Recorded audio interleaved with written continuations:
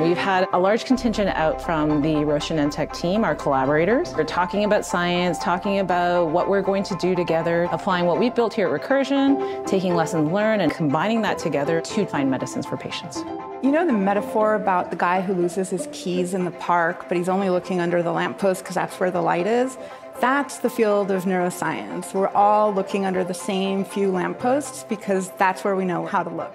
And what Roche and Genentech are going to do with us in this collaboration is to build flashlights that will enable us to look in new places and hopefully find the keys to these devastating diseases.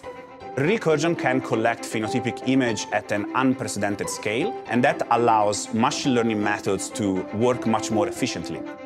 When I saw the progress being made at Recursion, it became apparent very quickly that the joining of these two formidable organizations would really go a long way in setting new insights into areas of very complex biology and intractable diseases of high medical need. We made a strategic plan in where can we really uh, differentiate. And that was basically going after new technologies, new drug discovery platforms, uh, big data sciences, computational approaches. Basically, we were looking for partners, and we found in Recursion an excellent partner that basically ticked all the boxes.